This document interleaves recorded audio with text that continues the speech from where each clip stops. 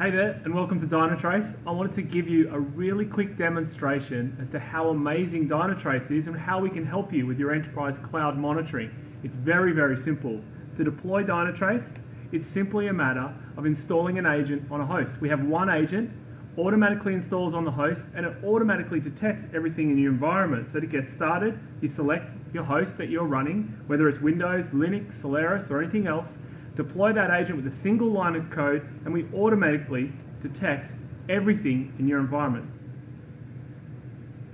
This is what we call the Smartscape. There is zero configuration required in order to set something up like this. Once we deploy on the host, you can see in this particular instance, we have 47 hosts that are instrumented. We automatically see then everything, we call this the full stack, from the processes, the services, all the way up to the applications.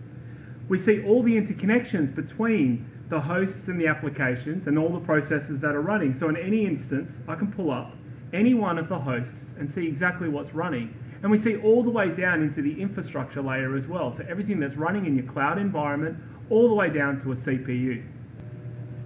So let's take a look at our problem analysis screen.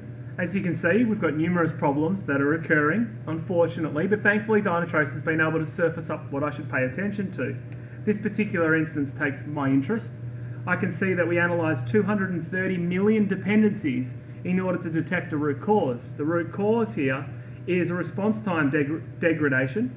I can also see that's related and has impacted the CPU saturation. That typically would probably send two different teams off to try and resolve the problem.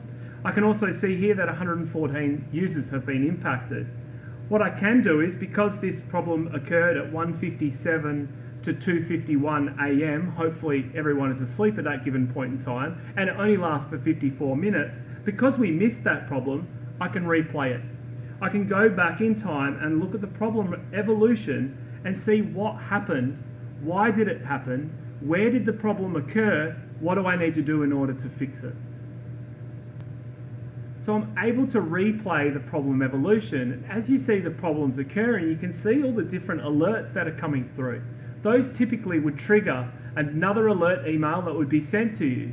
What we're able to do with our problem resolution is to put the entire problem into context.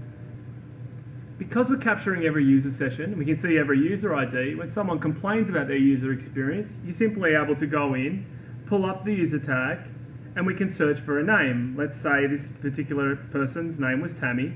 Let's pull up Tammy's user experience. I can see that Tammy has interestingly, come from Australia. And she's had many sessions on our site in numerous weeks.